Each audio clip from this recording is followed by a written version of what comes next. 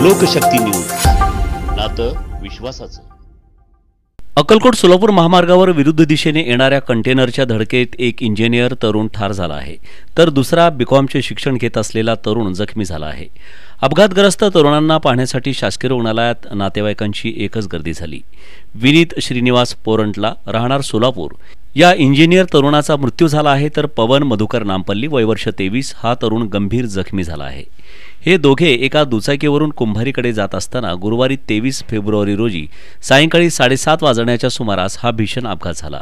पवन आणि विनीत हे दुचाकीवरून अकोलकोटच्या दिशेने जात होते. तेव्हा एक खुला कंटेनर तेथील एका शोरूममधून आडवा आला. दुचाकीचा वेग अधिक असल्यानं नियंत्रण सुटले आणि कंटेनरला जाऊन धडकले. कंटेनर चालक कंटेनर मागे घेत असताना दुचाकीवर आलेल्या विनीत आणि पवन हे अतिशय वेगात येत थेट कंटेनरच्या मधोमध धडकले.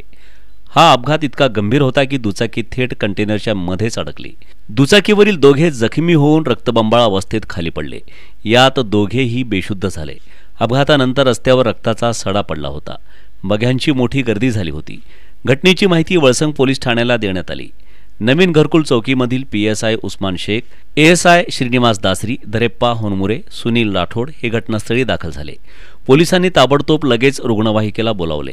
सामाजिक कार्यकर्ते जहांगीर शेख उर्फ लादेन यांनी जखमी झालेल्या दोघांना बेशुद्धावस्थेत उपचारासाठी सिव्हिल हॉस्पिटलमध्ये दाखल केले. डॉक्टरांनी विनीत याला मृत घोषित केले.